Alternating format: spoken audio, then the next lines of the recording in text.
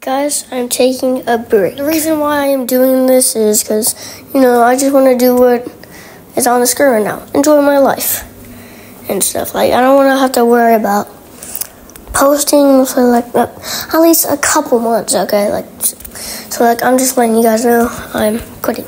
Oh, not quitting, taking a break.